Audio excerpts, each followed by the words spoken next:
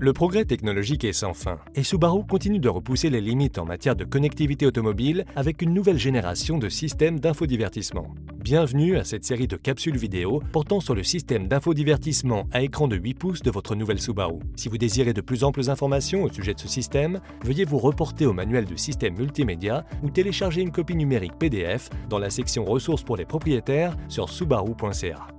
Les sujets abordés dans cette vidéo sont les suivants. Contrôle et paramètres, radio, appli, médias, téléphone, navigation GPS, ainsi que Apple CarPlay et Android Auto. Cette vidéo aborde le sujet de Apple CarPlay et Android Auto. Allons-y.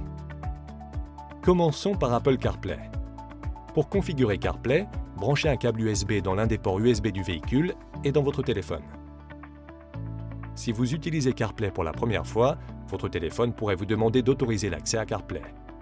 Une fois connecté, l'écran tactile de 8 pouces charge l'écran du menu CarPlay, qui inclut plusieurs applis Apple, dont le téléphone, la musique, les cartes, les messages, les balados et les livres audio. D'autres applis indépendantes peuvent s'afficher à l'écran du menu si elles offrent la lecture audio en continu. La plupart des applis fonctionnent de la même façon que sur l'iPhone et il est même possible d'afficher le GPS sur l'écran tactile du véhicule en utilisant l'appli Plan d'Apple.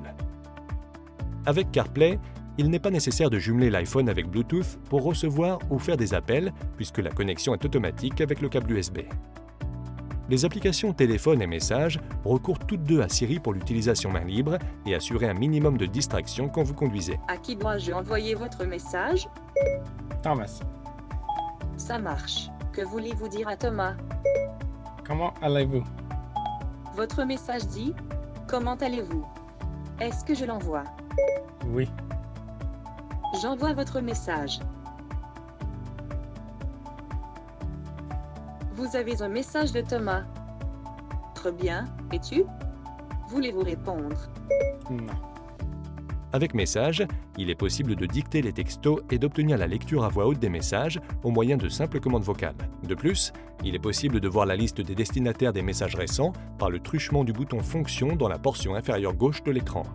Pour utiliser les autres fonctions du système d'infodivertissement lorsque CarPlay est connecté, il suffit de toucher l'icône Subaru pour revenir au dernier écran consulté.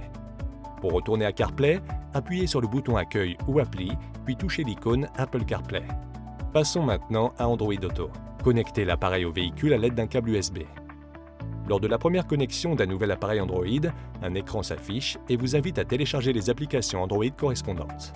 Lorsque l'initialisation d'Android Auto est terminée, l'application est lancée automatiquement sur l'écran principal du système d'infodivertissement. Pour certains téléphones, il faudra débrancher et rebrancher l'appareil pour que l'écran s'affiche une première fois. Au bas de l'écran apparaissent 5 icônes. La première icône charge les cartes Google et permet la navigation dans le véhicule en affichant l'écran du téléphone intelligent sur l'écran principal du système d'infodivertissement. L'icône suivante fait apparaître l'écran téléphone, qui servira à faire des appels ou à consulter toutes les activités d'appel. À l'instar d'Apple CarPlay, quand l'appareil est branché à Android Auto à l'aide d'un câble USB, il n'est pas nécessaire d'effectuer un jumelage Bluetooth.